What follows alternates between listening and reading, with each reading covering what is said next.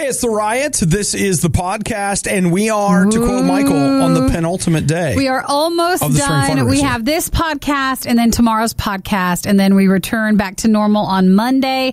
Uh, thank you for supporting our fundraiser. So many podcast listeners getting in, and we see those. So if you have a chance to donate to help Radio U, that helps the Riot and that helps the Worst of Riot podcast. So if you go to radiou.com, uh, please do that before we finish our fundraiser tomorrow.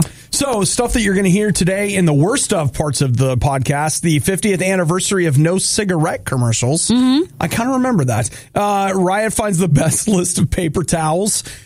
Seems to me that that was a contentious discussion. Probably. Uh, let's see. Dinosaur bones on the moon. I hope we find those. And uh, Nikki raises her hands and Obadiah doesn't notice. That's it. That's you, it through that. do you remember what that's about? I heard a little bit, so yes, I do Okay. remember. All right. Uh, other things in the show today, we talk about the shortages that restaurants are having, uh, multicolored Macs, and that boat that blocked the Suez Canal And how long will the boat be there? Yeah. You might be surprised to hear. a million years from now.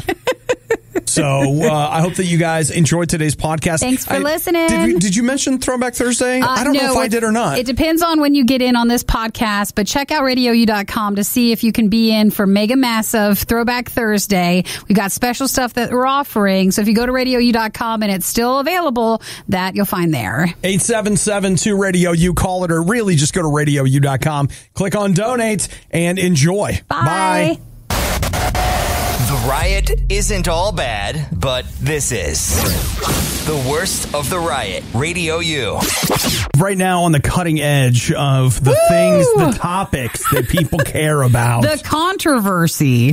Not is- really, but zach is texting us about paper towels and it's weird all right You know, I. I appreciate though that at least as a show that we can talk about anything, right? Just anything that you have problem wise, you just text us. It doesn't mean we can help you, but we can at least talk you through it with it with well, you. Zach was complaining about the paper towels he purchased, and uh, I don't even think about it. I just like whatever, just like here, just give me a paper Meaning towel. you you don't even notice if you don't end up liking what you've chosen. I'm just like, where's the yellow tag that says that if I buy three, I get one free or whatever? like that's Said comment. that's how far I'm getting on paper Well, towels. He was just saying that wherever he was going was still not having it, and the backup uh, paper towels that normally are still left on the uh, aisleways, those aren't probably the best. Well, Nikki, here is, according to GoodHousekeeping.com, the six best paper towels available on the market right now. But is this from? If uh, you can get them. Is this when they did they do this article like last year? Is this still more current? They say, real talk, it's their six best paper towels of 2020. Ooh, it's, new. It's a New it Year's still list. it still works. okay, here we go. Um, number one, actually, no, we got to go backwards. You can't start at number one. Oh, you're gonna go at the bottom. Number six, the most green paper towels, seventh generation, 100% recycled paper towels. Yeah, those are not nice. I I recall those. Yeah, they're probably terrible. And you're going to pay for a pack of them, it's $33. Well, you're paying a premium because it seems like they're uh, better for the environment, but they're also really rough. so, Nikki, at number five, the best no shed paper towels, the Kirkland Premium Paper Towel. There it is. So they say that it was best at leaving behind no lint while also absorbing liquid very quickly. And absorbing your money because you had to pay a lot for them. What are we? What are we doing? Don't uh, don't think about it. Don't think we- about what are we it. You're Okay. second guessing. You wanted All to help. Okay, all right, here we go. Number four, the Viva Signature Cloth Choose a Sheet Paper Towel. All right. Oh. Those uh, are fifty dollars a pack. No, they're No not. wonder- they're not fifty dollars. A pack must be like a pallet. There's no way that's fifty dollars. So no, it. I'll It's send not. it. It- I'm gonna look then. A pack of six rolls, forty eight dollars. Maybe that was when. Well, okay, six rolls, but maybe that was when uh, quarantine paper towels and toilet paper were at a premium price. Okay, now we've got Brawny's Tear-A-Square, Mm-hmm. uh, which it says that they're better for conservation. That's number three. Number two, the best value is the Flex-a-Size paper towel from Presto. Okay, All right. Now, Nikki, you can get those. This is a six pack on Amazon for, I don't have the price. Um, so apparently they're not available. And then the number one best overall paper towel. drum roll, please. Drum roll. According to goodhousekeeping.com, the best paper towel of 2020. Are From last ready? year, so I mean, Okay. it still works for now. Bounty. Bounty. Oh, the Mm-hmm. They say- commercials and stuff work They say it's the number one choice for their homes. for our generation. That's what, Is that it? Because, you know, for a lot of me and my friends, we try not to even use a paper towel. So you're just trying to not have to buy anything else. Jerome says there's a preference for brawny, not due to the quality of towels, but the manliness displayed in the wrapping. Oh, so the guy. Yeah. The, is he a lumber, lumberjack guy? Yeah. The paper towel guy? Well, you know, paper towels are helping keeping lumberjacks at work because they're made of trees and. Well, don't you know, think of it that way. Uh, so, Zach, there you go. That was some for the list. Obi, thank you for bringing the list. You know, you're Um, welcome. uh, you know, we have everybody has questions about different things, so we're happy to help. What's worse than the worst of the riot? The worst of the riot podcast. Yeah.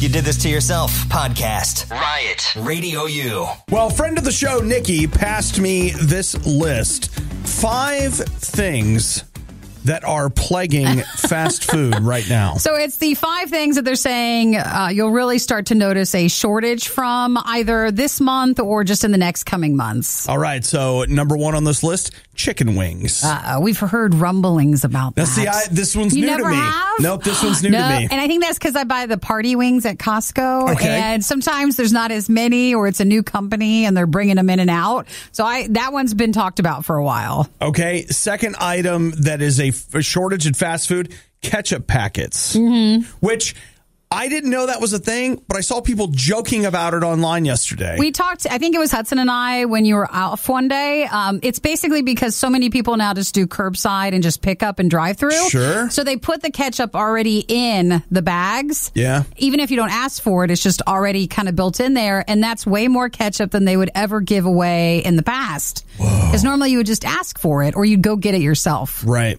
right. Okay, number three. This one I read yesterday bubble tea.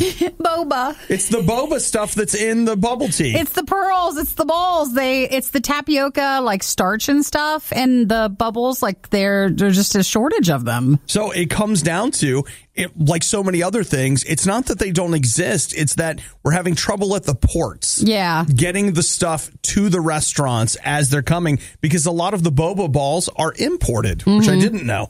Uh, number four, Mm-hmm. Which just milk. means it's going to be more expensive. Yay! Yay! Well, shortage just means that. Oat milk. So you can blame Starbucks for that. They came out with these uh, oat milk drinks and stuff, and they're so popular they were that now they had to take oat milk off their menu because most locations are out for the next few weeks and they just can't get it in. Sure. Finally, the thing that they say Drum, drum. is plaguing fast food in this time of shortages, a shortage of staff. That's the biggest thing right now. They just can't find people to work. Okay, here's the thing that gets me though is do you remember well, okay, obviously more than a year ago, 2 years ago or whatever, they were putting in these kiosks where you could order yourself and they were like this is going to devastate fast food. People won't be able to get jobs, like all this stuff. And now they're like, "I wish we had those robots cuz people won't No, work." it's it's not fast food necessarily. It's more just restaurants. So Just in like general. not the super nice stuff and not the fast food drive through. It's just the everyday restaurants. Can't think- find people to work. I think I told you on air a couple days ago. I tried to go to Red Robin, and they were like, "No, You can't. you're bringing too many people." And we are like, "We'll sit separately." No, you don't understand. We can't serve more than fifteen people at this restaurant at any given time. Because there was only one waitress. They they were like, "Do you know anybody that wants to work?" You could come in if you want to work. Like, like, they're going to hire everybody. like, wait a minute, did I call the wrong number again? Well, and it's frustrating too because they say that people go through the hiring process, like they go through the uh, what is it, the interview. They'll do that, and then they don't do anything past then because perhaps uh, how do we say the unemployment and stuff. You have to show that you're trying to get a job, but they don't actually take the job then. Man, that is legit a Seinfeld episode. I know totally. so I feel bad. A lot of places they're just no one wants to go work. Vandelay Industries, and you want to be my latex salesman. So that's the shortage right now. And I guess the number one thing is just a shortage of people working. Well, you know what? Uh, I better hurry up and get as much fast food as I can now. I think if you're willing to work and you wanted to get, the man, they would take you right then and Right there. now. They are so needing help. In case you're wondering, yes, we do get complaints. They have gone too far. This time, they are going to be held accountable. You're listening to The Riot on Radio U. Nikki just gave the most artful dancer like stretch I've ever seen for. It was a slow build. Yeah, I just Their stretched it. palms out. I just, it wasn't what I expected to see. Oh, okay. Okay. Well, okay. There's a stretch. Now here, yeah, okay, that's more like what I do, like a King Kong stretch. Stand up and scream and push my arms as hard as I can. Uh, Nikki and I have we the studio's different now. There's some new furniture in here and whatever, and we finally reestablished the plexiglass between the two of us Mm-hmm. because you know I've been a disease carrier for a long time, and, And I don't want to. yeah, So I'm over here. so the. Uh, The what plexiglass? the plexiglass. What Nikki doesn't can't see and no one can see really is that Radio U TV is on a TV behind my head, and now it looks like it's on a TV like just slightly above Nikki's head. It's just the reflection. It constantly looks like Nikki is waving her arms at me, and it's not me. and I'll be in the middle of like reading traffic or doing whatever, and I see what I think is Nikki like, oh no, no, Are you getting wrong." worried? and so I've become really. I, one of two things is going to happen. I'm going to be so tuned into your arm movement that I am arrested that I just can't Or- work. Or we need to switch the TVs behind you. or there's going to be a fire on your side of the desk, and you're going to be trying to get my attention, and I'm going to be over here like, just ignore her. It's just a music video playing behind me. That fire is just on the TV and it's reflecting in the plexiglass. Well, do Don't think- worry about Can it. Can we tilt the TV a different way or something? Because I mean, we need to. I need to watch the TVs because how if someone's breaking in, how can I see? yeah. I need that. But if they're breaking in and you're trying to get my attention, oh You'll my gosh, know. they're breaking in. I'm over here going, just ignore her. Just she'll she'll stop. Just stay on point. Well, okay, so this is a it's a it's a fixable problem. We just need to come. It's fine. Keep going. I don't know what we need this plexiglass for.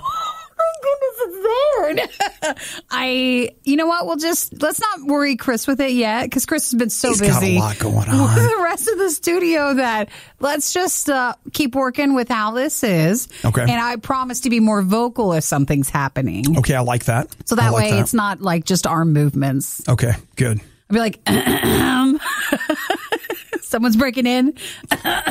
There's a man at the door. You Does he have donuts? You go get it. Which is exactly how that goes when someone comes to the door. One Oh. of us is expendable. The other one runs the board. The worst podcast with the best listeners. This is the Worst of the Riot podcast.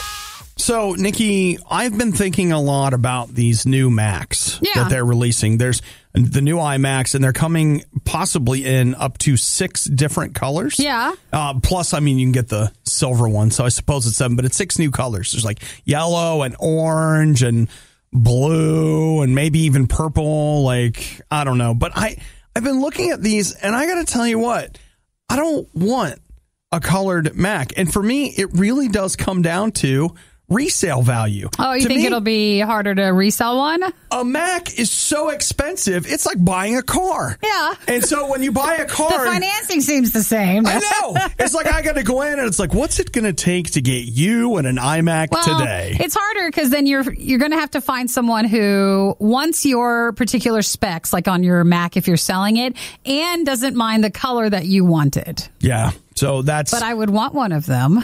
it's just you understand it is harder Oh to no! resell I, it. I just know out the gate. If I was going to invest in an iMac, I would not get one that the, was colored. Look at the green one or the purple one.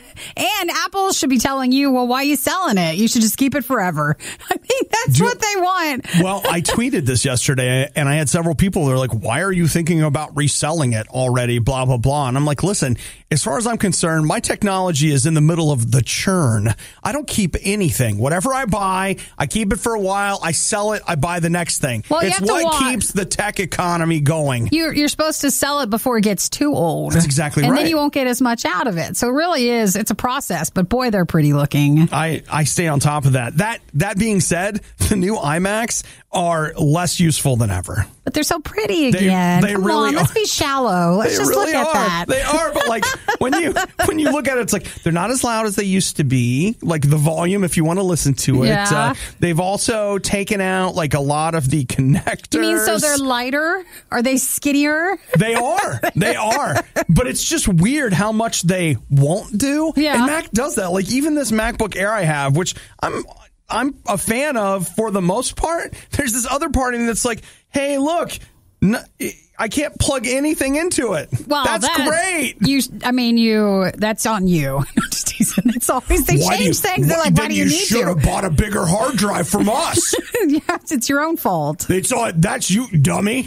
So they are they are pretty though. There's green, yellow, orange, pink, purple, blue, and silver. well, no, I like I'm And they'll telling be a you. billion dollars. So. I'll call it the car conundrum. I can't buy a Mac in an off color because eventually when I go to resell it, people will be like, I, you know what? I, I like what you have here. And I like your, we're going to have to knock, you know, a thousand dollars off the price because it's orange. Uh, so those start uh, to order on the 30th. So there you go. You going to get one? Uh, You're not. Eh, They lost well, I only use They my lost ya. laptop. I don't use a desktop. I haven't for a few years, but it is nice looking. it's pretty. Pretty. n- You know what? I like complete side note, but at this point, if I were to go, like if you say to me, hey, would I go buy a laptop? As much as I love the quality that you get with a MacBook Air, I'd buy a Windows 10. Giving every novelty food the publicity it so blatantly desires. It's The Riot on Radio U. You know what you've never seen, Nikki? What? Never in your life. Never, Ever. never have I It's ever never seen. happened. what is it? No one has. Well, maybe somebody, but not us. You've never seen a cigarette ad on TV. Oh, has there never been one? Uh, oh, you probably can't, no, no, can no. you? There has been. It's just that you and I were not alive for those things. Oh. Check this out. Uh, it has been 50 years. 11:50 p.m. on January 1st, 1971. It was the last TV ad for cigarettes ever.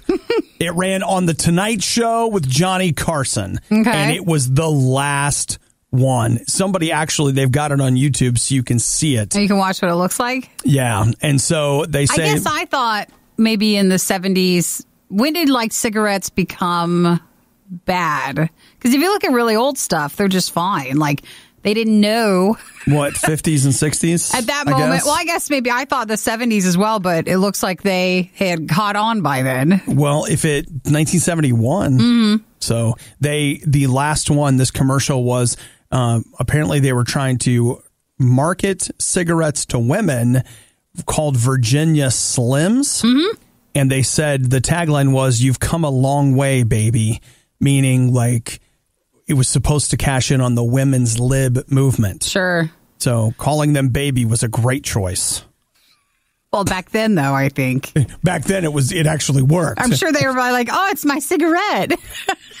We're not here. Nothing says I'm free to be myself like having my own cigarettes. Not here, not now. Slim cigarettes. Because I wouldn't want to be fat. So, Right?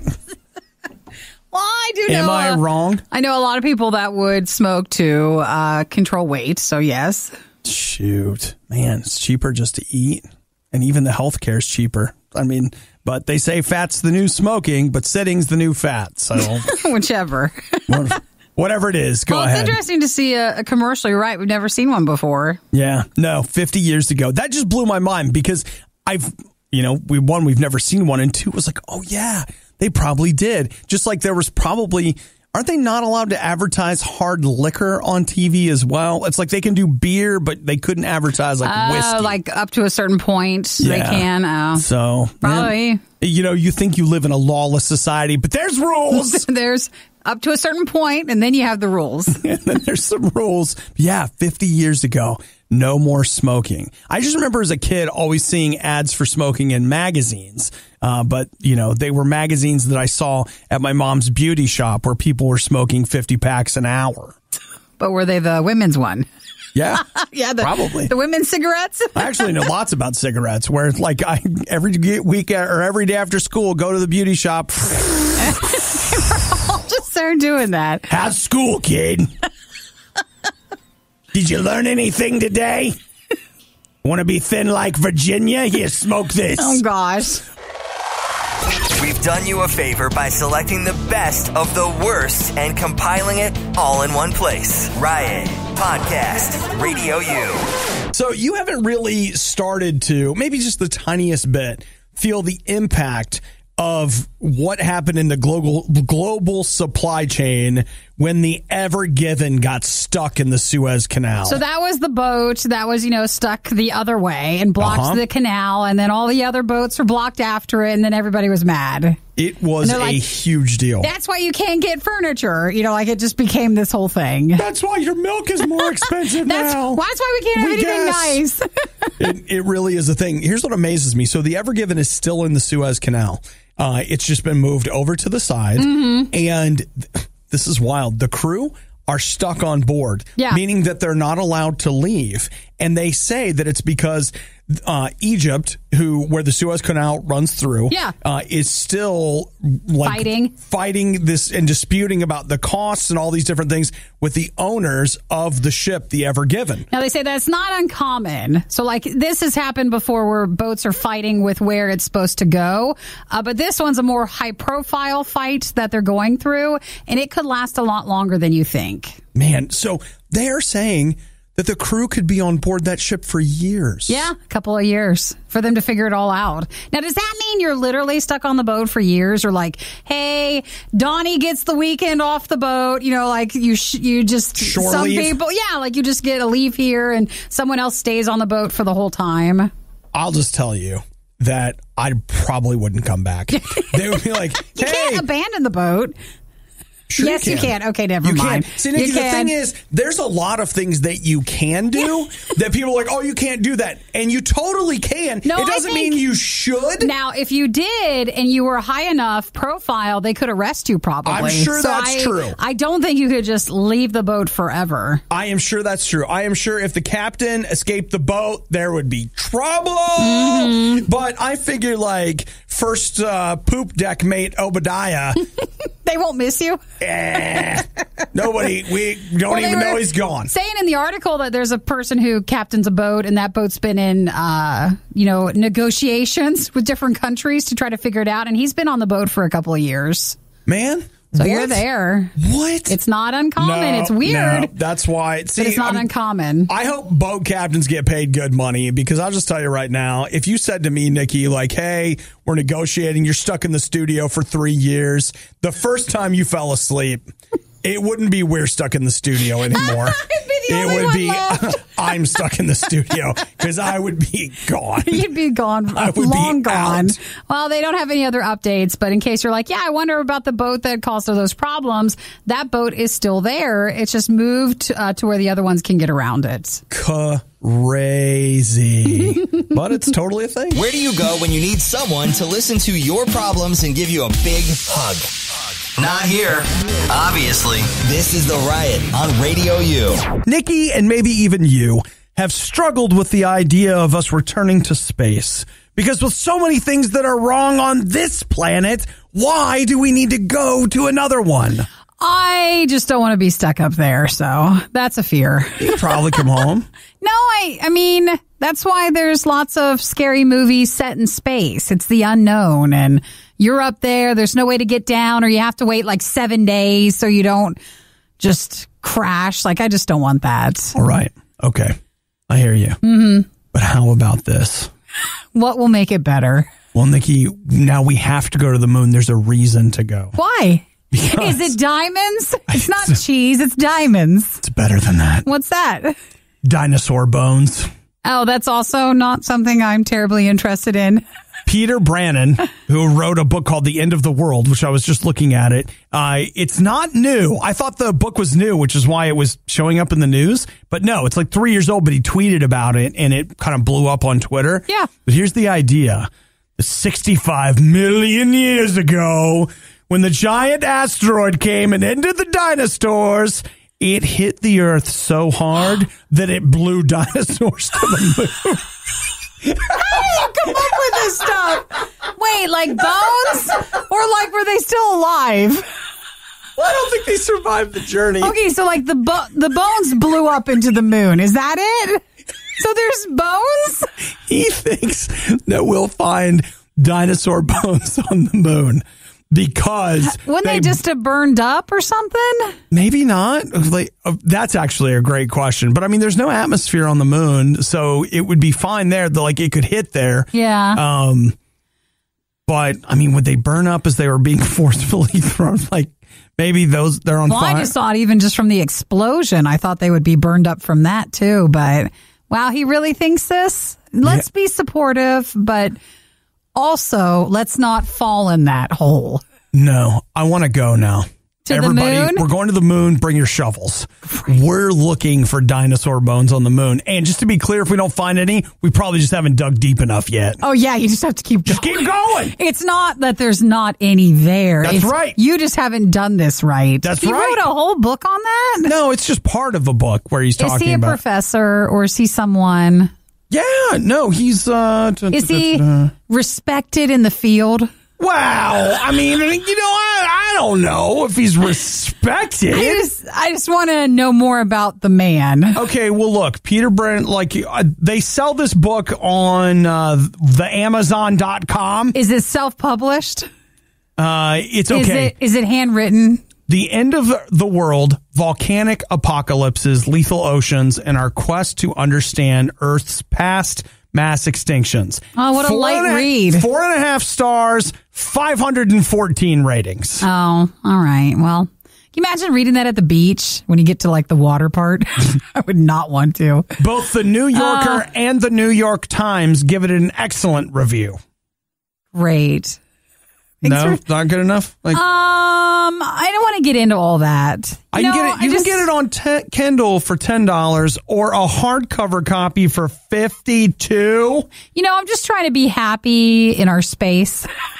Our current space, not like space space. Yeah. Just trying to be happy, healthy, you know, optimistic, all that stuff. And I don't want to add all this to it. It reminds me of that song. We don't play it, but it's a band we play where they're like, they say the world's going to end in thirty days, but I just want to live anyway. Yeah. Like I don't want to find out about the explosion was so great that the bones made it all the way into the moon. That's awesome. The next time we make a movie about that, can we make sure that we see? Can I just get a shot of one dinosaur like going? No. No, because what about uh-uh. What about the Jurassic perfect. the Jura- what was it the Jurassic World one Fallen where Kingdom. where it's the dinosaur in the dock? He got left on the dock. Like, hey, I cried. hey guys, I cried. Where are you going? There's space on there. Why am I not on the where, boat? where are you going, guys? I couldn't handle that part. It was so sad. It was so so sad. So I don't want this either. I want, I want the, the asteroid hit and we just get a shot of one dinosaur going, wee! You know, All the way up there. not knowing all the, the horror home. that waits for it in space. I want it. Please make it. Please. What if he survived? He's like, where am I at? What the heck? Hey, hey guys. The worst of the riot is over, but the fun can keep going. Hey, I saw you checking out my goods. Check the Riot blog or stalk us on social media You want to sample 'em? A little try before you buy, huh? through riot.radiou.com. I should thoughtfully evaluate this.